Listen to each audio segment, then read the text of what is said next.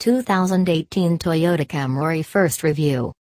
When debating between the two most popular midsize sedans in existence, the prevailing logic usually went like this if you want the one that's a bit more fun to drive, choose a Honda Accord.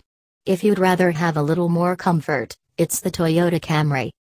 With the all new 2018 Camry, that distinction isn't necessarily the case anymore.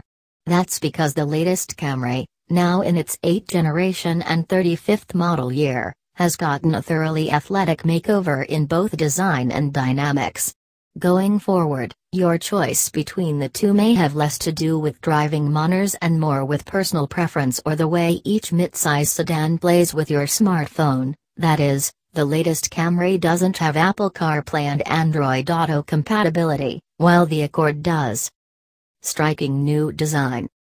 You'll get the impression of the Camry's bolder new character before you even open the door.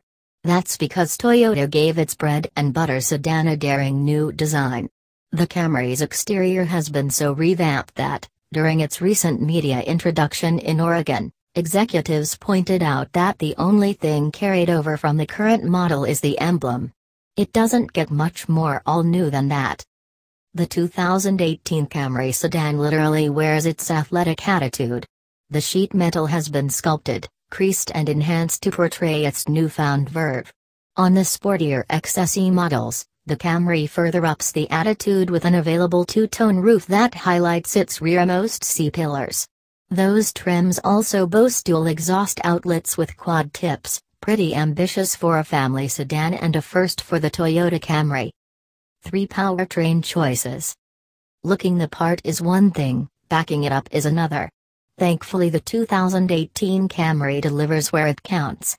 The Camry will again be offered with three powertrain choices, the standard and by far most popular four-cylinder, a smooth and strong V6, and a hybrid that pairs a four-cylinder gasoline engine and battery-powered electric motor.